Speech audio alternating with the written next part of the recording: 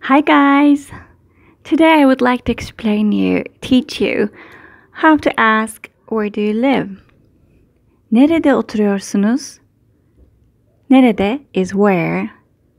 In where. Nerede oturuyorsunuz? Otur is live.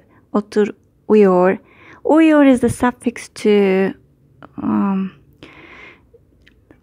present continuous tense. And sunuz is the suffix to say you are. You are living where? Where are you living?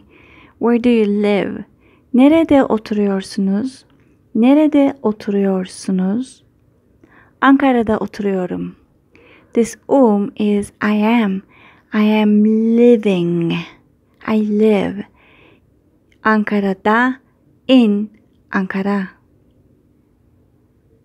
Ankara'da oturuyorum. İstanbul'da oturuyorum. By the way, Ankara is the capital of Tur- Turkey's uh, capital of Turkey, and Istanbul is another city. Uh, I think it's the biggest city in Turkey. İstanbul'da oturuyorum.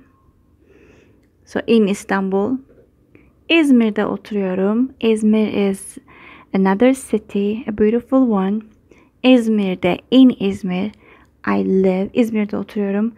So if you pay attention, these endings, although they all mean the same thing, da da, in, in, in Ankara, in Istanbul, in Izmir, in, here it changed. There, there's a reason why it changed. It's the vowel harmony rule.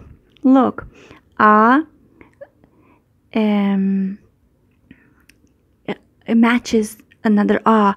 U can match a again, but e cannot match a. E have to ma- match e. So İzmir'de. So in this case, da wouldn't work here. It has to be İzmir'de. İzmir'de oturuyorum. I live in İzmir. İzmir'de oturuyorum. Siz nerede oturuyorsunuz? Siz uh, is you, so you are repeating the same question back. Siz nerede oturuyorsunuz? Rio'da oturuyorum. Rio'da oturuyorum. I live in Rio. Rio'da otur- oturuyorum. Oh, let's start all over again. Nerede oturuyorsunuz? Ankara'da oturuyorum. İstanbul'da oturuyorum. İzmir'de oturuyorum. Siz nerede oturuyorsunuz? Rio'da oturuyorum. So study well, have fun, and you can check the description box to see the whole lesson in Turkish.